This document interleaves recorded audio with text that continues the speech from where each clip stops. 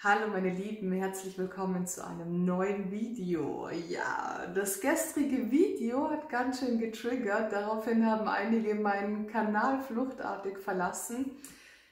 Was soll ich sagen, ich kann an den Botschaften nichts ändern und selbst wenn ich könnte, ich würde es nicht tun. Das sind die Botschaften, ich bin der Botschafter, also von dem her, ja, Thema loslassen großes Thema, schwieriges Thema, ähm, unangenehmes Thema, ja. Aber ich möchte dich heute wieder ein bisschen triggern, weil ich möchte dir zeigen, was passiert denn, wenn du loslässt? Was erhältst du dafür? Ja, ich meine, klar, es ist alles immer leichter gesagt als getan, aber die Sache ist die, Loslassen bedeutet nun mal Freiheit. Ich habe es im letzten Video schon erwähnt. Natürlich, bis man letztendlich loslassen kann, das erfordert Prozessarbeit. Ja? Ich meine, man kann sich nicht einfach nur dazu entscheiden, loszulassen.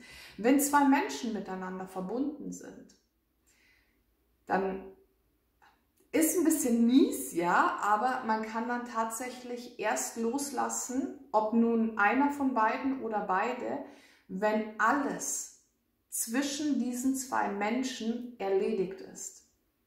Karma aufgelöst ist, ähm, die, die Themen in einem von beiden oder in beiden ähm, aufgelöst, aufgearbeitet sind. Ja, ich meine, Klar, loslassen geht nicht von heute auf morgen so, zack, bumm, erledigt die Sache. Funktioniert nicht. Das erfordert Prozessarbeit. Nur möchte ich heute die Legung machen, vielleicht als kleinen Impuls oder als, ähm, wie sagt man, um dir das ein bisschen schmackhaft zu machen, überhaupt mit dem Gedanken zu spielen, mit dieser Thematik zu arbeiten. Ja, ich weiß, Viele arbeiten schon damit, viele sind schon in ihre Prozesse gestartet und die sind mittendrin. Ich darf einige ähm, von ihnen begleiten und es ist ein harter Weg, ja, aber es lohnt sich definitiv.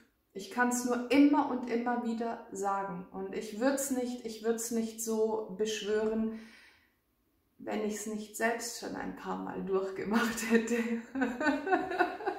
ja, ja, Seelenverbindungen, Seelenverbindungen. So, starten wir ins Reading. Ähm, ja, ich hole mir dafür erstmal ein paar Kärtchen ab und dann hole ich euch wieder mit dazu. Bis gleich.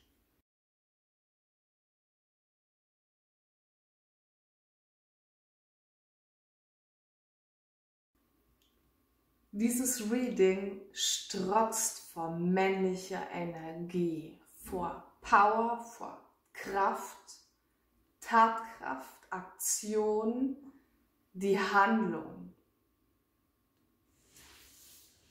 Also, welche Energien zeigen sich hier? Was passiert, wenn du loslässt? Was erhältst du dafür?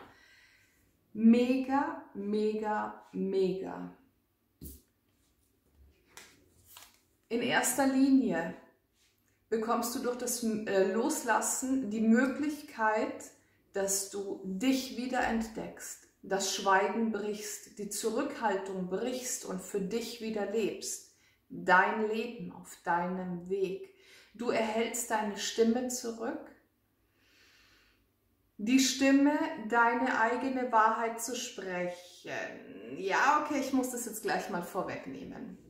Und zwar ist es jetzt so oder in den meisten Fällen in einer bedürftigen oder abhängigen Verbindung gibt man sich meistens auf. Also ein Part, ja, meistens du, sonst würdest du wahrscheinlich keine Orakel gucken. Ähm, du gibst dich auf, du gibst alles her. Du lebst quasi nur noch für diesen Menschen. Ja, klar, wenn dann irgendwo die Distanz da ist oder wenn du blockiert wurdest nach einer Zeit, das ändert sich dann. Aber in dem Moment, wo alles noch so frisch und so akut ist, verlierst du dich komplett selbst. Dementsprechend ähm, schaust du auch immer irgendwie, wie kannst du es deinem Schatz recht machen? Wie kannst du dich verbiegen und verdrehen, damit er sich nicht über dich aufregt, er oder sie, damit ihr euch ähm, nächstes Wochenende trefft, damit ähm, er oder sie mehr Interesse an dir hat. Ja, du versuchst dich auch interessant zu machen und sowas. Ja, eigentlich Dinge, wenn du in deiner Kraft, in deiner Stärke, in deiner Balance bist, machst du sowas nicht, weil dann weißt du ganz genau, dass du anziehst das, was zu dir kommt oder zu dir gehört. Aber in dieser bedürftigen, abhängigen Verbindung agierst du komplett toxisch und ja, auch irgendwo manipulativ, weil du willst dich ja auch interessant machen, ja, über Worte, Gesten, irgendwelche Fotos, Videos auf Social Media oder sonstiges. Und das ist das, was du eben dafür bekommst, dieses du selbst wieder zu sein. Das hört sich jetzt vielleicht so unwichtig an, aber das ist, das ist ein, ein grundsätzlicher Bestandteil deines Weges, dass du du selbst bist. Die Aktion, die Handlungsfähigkeit, wie viele Situationen gibt oder gab es in dieser Verbindung zwischen euch beiden, wo du festgefroren warst, erstarrt warst in dieser Ohnmacht, in dieser schmerzvollen Ohnmacht. Ja? Die Momente, wo, wo dein Gegenüber dich verlassen hat, blockiert hat, die Off-Phase eingeleitet hat oder, oder, oder, ja, verschiedene Situationen oder dich auch einfach nur von sich gestoßen hat. Liebesentzug kommt mir auch gerade, ja, diese Erstarrung in dir, dieses, diese Fesseln, ja, wir haben die Fesseln hier auch nochmal liegen. Du erhältst deine eigenen Flügel zurück. Du kannst wieder du sein. Du kannst dich bewegen, so schnell und in welche Richtung du auch immer du möchtest.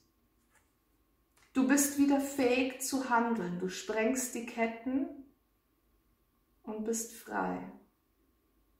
Vogelfrei. ja.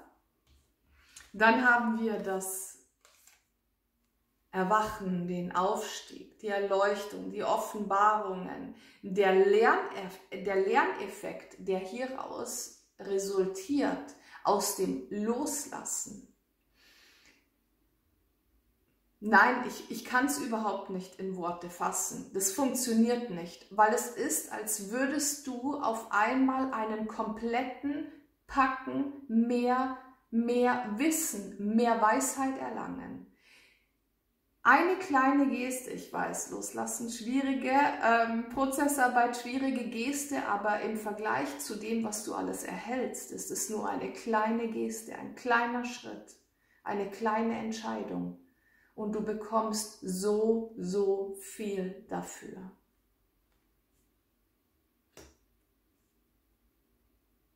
Es ist ein Schritt in die nächsthöhere Ebene, das Auflösen von so vielen karmischen Verbindungen,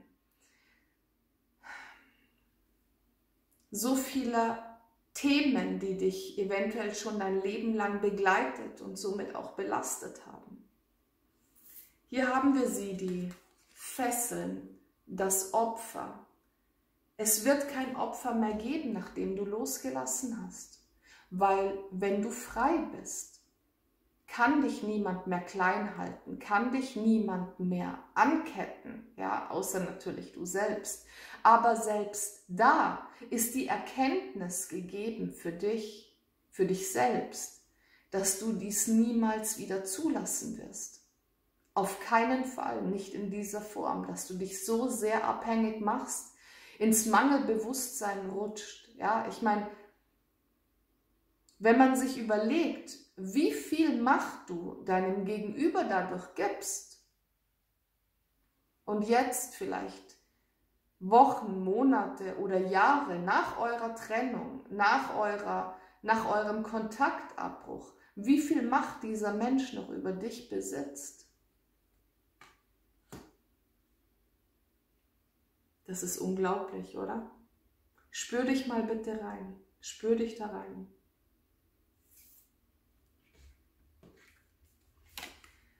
Dann haben wir hier noch die dunkle Nacht deiner Seele. Ja, das ist die, die tiefste Prozessarbeit, das Eintauchen in deine tiefsten Abgründe, ähm, in deine Gulligrube, ja, da wo der stickigste Mist drin gesammelt ist.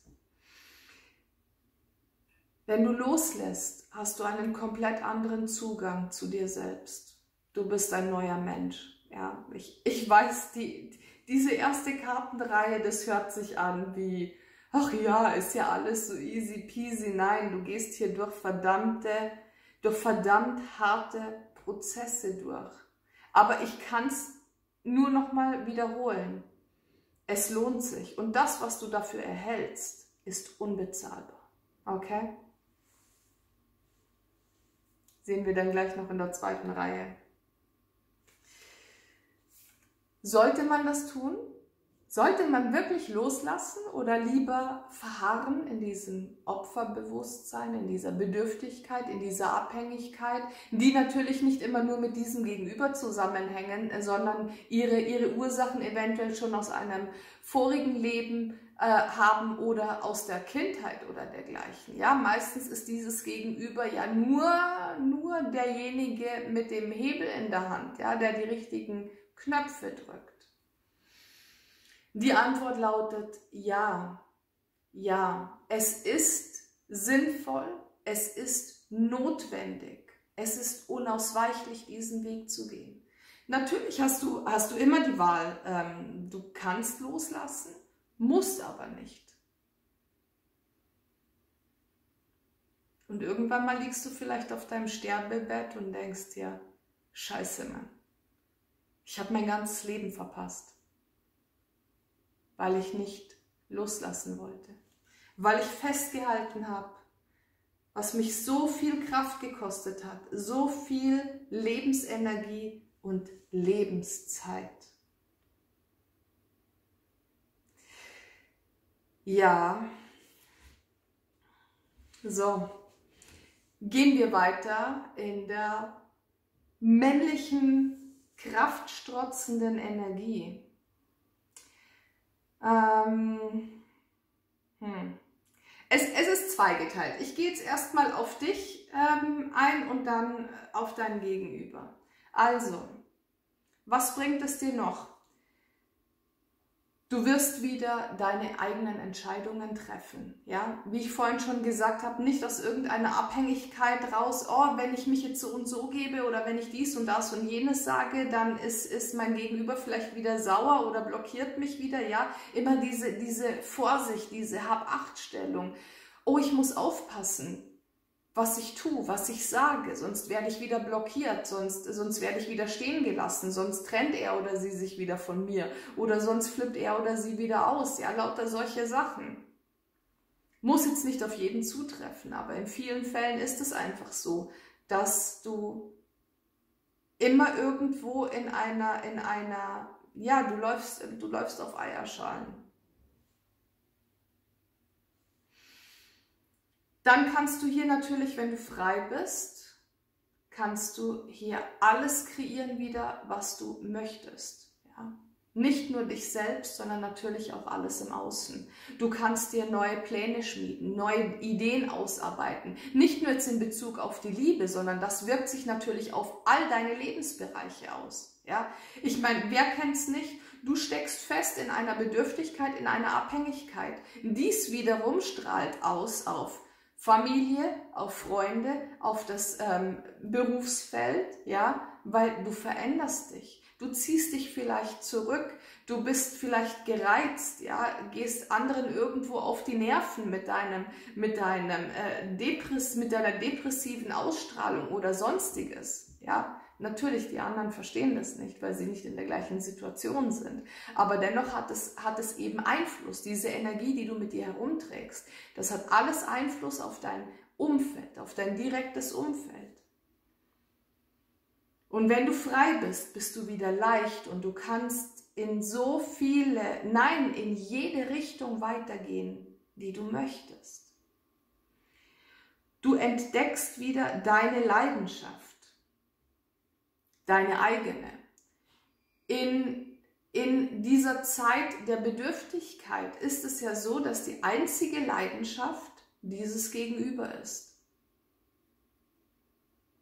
Für ihn oder für sie brennst du. Für ihn oder für sie lebst du. Ja, so in dieser akuten Phase der, der ähm, On-Phase oder, oder wenn, du, wenn du noch kämpfst, wenn du versuchst, diesen Menschen zu behalten, in der Phase, wo du dich klein machst und klein hältst und versuchst, demjenigen alles recht zu machen, ja, nur, dass er dich nicht wieder verlässt oder blockiert oder sonstiges. Hier kannst du wieder deine eigene Leidenschaft erspüren. Hier kannst du dir wieder nehmen, was dir zusteht. Es ist was komplett anderes. Es ist diese freie Leidenschaft, mit der du arbeiten kannst, ja, unabhängig von einer anderen Person. Wie gesagt, das, das, das weißt du erst, wenn du das selbst mal gespürt hast, diese freie Leidenschaft für dich selbst. Du bist wieder offen für eine neue Liebe. Du gehst weiter in deinem Wachstum, in deinem Seelenwachstum, ja, du schreitest voran und du kämpfst für dich, du stehst für dich ein. Du machst dich nicht mehr klein, du hältst dich nicht mehr zurück, du sprengst die Mauern, zeigst dich, gehst nach außen. So viel zu dir. Ich glaube, ja, es, ist, es sind jetzt viele, viele Worte für dich, eventuell auch teilweise unglaubwürdig, gerade wenn du jetzt noch in irgendeiner Art Schmerz festhängst, ja, und unbedingt diesen Menschen in deinem Leben haben möchtest, dann wirst du dir denken, pff, alles nur heiße Luft. Aber wenn du die Entscheidung triffst, loszulassen, dann dürfen diese Energien in dir arbeiten. Was darfst du denn erwarten, wenn du loslässt? Wer wird hier auf dich zukommen. Loslassen, Transformationsprozess, ich habe schon gesagt, dein Aufstieg, das heißt, du bist auf einer ganz anderen Ebene. Dementsprechend, und hier muss ich sagen, hier liegen eben zwei wichtige Könige in dieser, in dieser Verbindung oder, oder ähm, in dieser Thematik. Und zwar der König der Schwerter und der König der Stäbe. Nein, eigentlich ist es egal, weil alle vier Könige, egal welcher jetzt da ist, sind ganz, ganz wichtige Komponenten in dieser, in dieser Verbindung. Nur hier geht es darum, hier hast, du, hier hast du zwei Eigenschaften von diesem zukünftigen Partner. Zum einen, er trifft seine Entscheidungen oder sie natürlich und steht dazu. Und die Leidenschaft die hier ist, diese Verbindung, ist kein Auf und Ab, ist kein On und Off. Es ist was Beständiges, ja. Ein Feuerzeichen lodert zwar schnell mal auf und flacht dann wieder ab, aber in dieser, in dieser Verbindung mit der Welt auch dazwischen, das ist eine komplett neue Ebene. Das ist ein Nachhausekommen. Das ist eine Auflösung. Das ist ein Ankommen in einer Verbindung auf Augenhöhe. Gleichberechtigt und innig. Ja, man steht zueinander. Man haut nicht gleich ab bei den ersten Problemen oder ersten Unannehmlichkeiten. Das ist was komplett anderes. Ich, ich hoffe, du spürst diese Energie, weil das ist kein Vergleich, absolut kein Vergleich zu dieser anderen Geschichte, die du erlebt hast. Verspreche ich dir, kein Vergleich. Dies ist ein Mensch, der weiß, was Liebe bedeutet und der diese Liebe weder seine eigene Liebe noch deine Liebe zu ihm oder zu ihr ausnutzt. Ja? Wie viele gegenüber, also in einer toxischen Verbindung, wie viele gegenüber spielen mit deinen Gefühlen, machen dich willig durch ihr Verhalten, durch ihr manipulatives Verhalten, selbst wenn es ihnen überhaupt nicht bewusst ist. Aber sie formen dich durch deine Hingabe, formen sie dich, wie es ihnen gefällt. naja, am Ende sind sie dann doch nicht zufrieden, weil am Ende blockieren sie dich oder kicken dich aus ihrem Leben raus oder so. Ja, aber du weißt, was ich meine. Und dieser Mensch hier auf Augenhöhe, der in den Startlöchern hockt, ja, der wartet nur darauf, bis du loslässt und bis du diese Ebene, diese nächsthöhere Ebene erreichst. Dieser Mensch, der kann lieben der weiß, was das ist, was das bedeutet, was da alles dranhängt. Diese beständige Liebe, ja. Und dieser Mensch ist bereit, mit dir gemeinsam zu wachsen. Wie ich vorhin schon gesagt habe, dieser Mensch haut nicht ab bei den erstbesten Problemen. Natürlich gibt es Konflikt, natürlich gibt es Streit. Hallo, wer will schon ewige Harmonie? Ist ja langweilig. Aber innerhalb eines Konflikts oder eines Streites kommt dieser jemand nicht und sagt, ach, weißt du was, hau doch ab, du nervst mich oder sonst irgendwas, ja, und blockiert dich dann oder, ja, wir kennen diese Geschichten, ne? Nein. Hier, hier ist gemeinsames Wachstum angezeigt. Und dieser Mensch verteidigt sich, verteidigt dich und verteidigt eure Verbindung. Er kämpft, er oder sie kämpft dafür. In wie, also wie viele Situationen hast du schon erlebt, wo dich oder in denen dich dein Gegenüber verleugnet hat? Weil keiner durfte was erfahren von euch beiden. Ja, das musste geheim sein. Warum, wieso, weshalb? Vielleicht warst du auch ständig von irgendwem die Affäre oder ständig involviert in irgendeiner Dreierkonstellation oder, oder, oder. Dein Gegenüber hat nie wirklich dich öffentlich und offiziell an seine Seite gestellt. Das ist so eine, das ist so eine eklige Energie. Gehen wir wieder auf die schöne über. ja, mit diesem, mit diesem ähm, neuen Menschen, mit diesem neuen Gegenüber und mit dieser beständigen Liebe auf Augenhöhe wirst du sowas nicht mehr erfahren. Ja. Das ist natürlich keine Garantie, dass du mit diesem Menschen ein Leben lang zusammenbleibst. Äh, ist, dieser Mensch ist nicht der Einzige äh, auf Augenhöhe mit dir, ja? Also ich meine, natürlich, eine Garantie gibt es nie. Wer weiß, vielleicht versteht ihr euch irgendwann mal nicht mehr oder ihr habt euch gegenseitig ausgedient oder sonstiges, um Gottes Willen. Aber ich sag dir nur, mit diesem Menschen an deiner Seite erhältst du wieder die, die weiteren Erkenntnisse, die weiteren Offenbarungen, wie schlecht es für dich eigentlich war, an diesem Alten gegenüber festzuhalten. Und ist es das wert oder ist es das wert? Ja oder ja? So. Was heißt das im Fazit? Die wahre Liebe. Okay? Die wahre Liebe nicht eine einseitige wahre Liebe von dir ausgehend Richtung deines alten Gegenübers, sondern die wahre Liebe auf Augenhöhe, gleichwertig, beidseitig. Muss ich, glaube ich, nichts weiter dazu erwähnen, oder?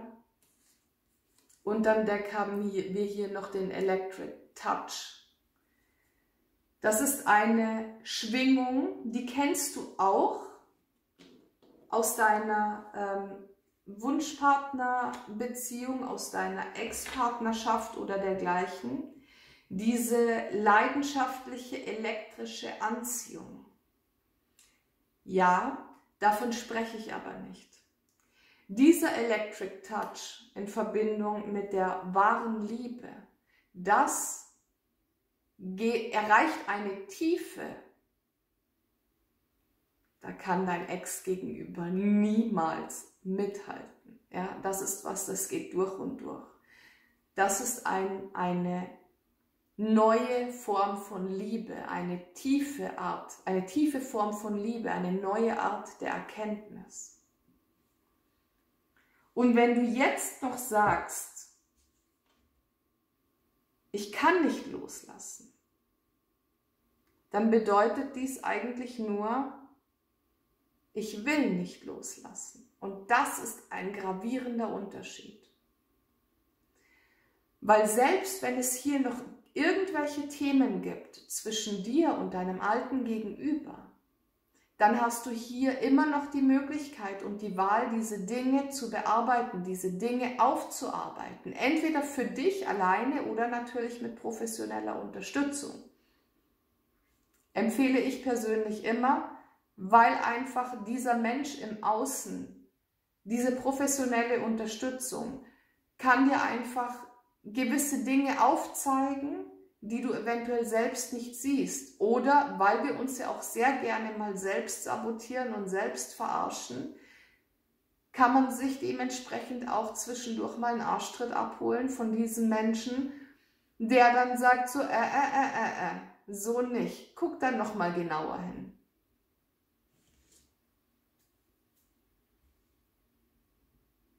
Also, bist du bereit? Herzlichen Dank fürs Zusehen. Bis zum nächsten Mal.